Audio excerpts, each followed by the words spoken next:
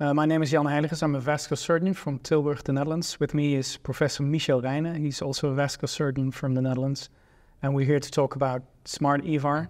Um, Michel, uh, why active sac management or smart EVAR? Yeah. Yeah, when we look at, at endovascular repair of aortic aneurysms, um, it was introduced about 30 years ago. And during all those years, the EVAR devices have significantly been improved. But still, when you look at the technology, um, we do encounter the same problems. So we're still talking about type 2 endoleaks. Uh, these are not resolved and still cause problems. And on top of that, um, it recently became apparent that patients with a shrinking aneurysm do better um, when compared to those with a stable aneurysm. And then we talk about reinterventions, aneurysm-related problems, but also all-cause mortality. So I think we're at the crossroad that we need to add something to um, our regular EVAR practice. And active sac management, where we fill up the complete sac may well be the step forward. And Michel, you're talking about active sac management, but should we be do, doing more uh, preemptive sac embolization with coils, or is yeah. that a different ballgame? No, it's, it's, it's an option. It's an option. It's well known that when you, for example, uh, embolize your IMA before EVAR, that you get better results with regards to both type 2 endoleak, but also shrinkage. The problem there is that it takes a lot of time, um, and therefore it's costly. Uh, also will give you a lot of radiation burden. So it needs to become easier. Well, then you can embolize the entire sac with coils. It has been done as well, and it has been shown that uh, with that you can reduce the number of type 2 endoleaks, but you cannot really avoid them. Mm. And the failure mode is in those aneurysms that are not completely filled. So 100% filling seems to be the driver for success there. And that's why I think we need other materials. Okay, interesting. So Jan, could I ask you, why did you take interest in the AAA SHAPE study? Yeah, I, I, think it's fair to say that both you and I um, are looking for uh, better results, so to speak, with EVAR, as you explained earlier. Um, let's say a decade ago, we, we started with an alternative, alternative technology on, on uh, sac management, uh, which partially has been successful, and the rest is history, so not su- that successful, but we've learned a lot from it. Um, for example, um, there is this tendency to think that there is um, results on cardiovascular issues, uh, mortality, and that taking care of the uh, sac um, interferes with that and has positive outcomes if you can do so.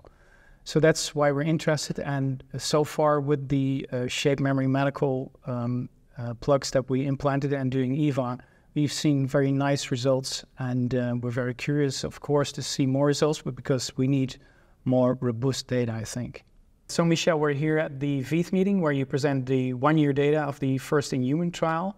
Uh, tell us more about it, please. Yeah, what we did in the first in human trial is that we enrolled 35 patients um, in New Zealand and the Netherlands. In fact, there were two trials that were combined into one. Uh, and all these patients were treated um, with a regular EVAR procedure in conjunction with active sac management using the IMPEDE-FX uh, rapid fill devices. What we've seen in that trial is that there were no major adverse events related to the product or to the sac filling technology. The technology itself had been published this year, earlier this year, in the JVS CIT. Um, and when we look at sac regression, it seems to be higher than we uh, see in regular EVAR. When we look at the diameter measurements, we see that about 60% of our patients do have sac regression at one year. And we look, when we look at volume, which is more sensitive, um, it's about 80%. Yeah.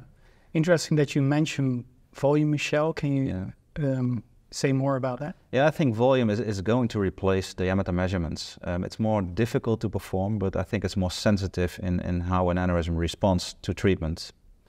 Um, in time, more software will become available, so it'll become more easier, and then it will replace the simple AP uh, measurements. Yeah, that makes sense because yeah. yeah, just measuring AP is exactly it's not yeah. the way to go. Probably. Yeah. Yeah, so when we look at the, the results, um, they are now under review for uh, publication, and hopefully they'll out soon. Okay, great to know. Yeah. So to conclude, I think both Michel and I are very excited about this new technology and with the early results. Um, of course, we need more robust data, and therefore we will participate in the randomized controlled trial. Um, it's initiated in the U.S. and there are some uh, there are a few outside U.S. centers. It's being led by Dr. Schermerhorn and Dr. Patel and Dr. Milner are the co-PIs of this study.